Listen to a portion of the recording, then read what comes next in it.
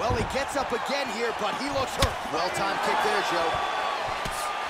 Constantly a moving target. Oh! And just like that, the fight is over.